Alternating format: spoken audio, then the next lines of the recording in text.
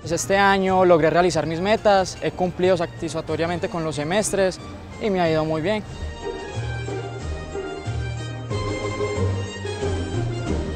Eh, pues los invito pues para que este viernes celebremos como la gran familia que somos el día pues de la fiesta de la universidad.